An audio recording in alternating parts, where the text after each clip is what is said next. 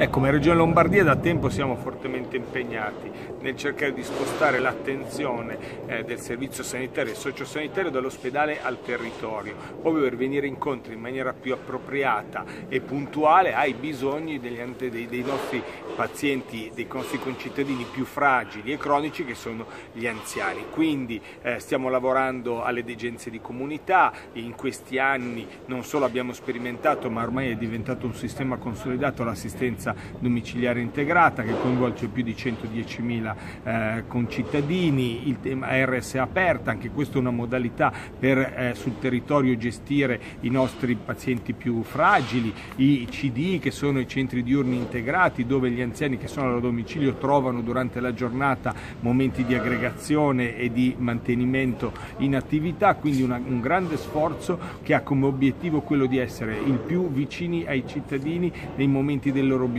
curarli meglio e farli stare al loro domicilio che il loro habitat naturale.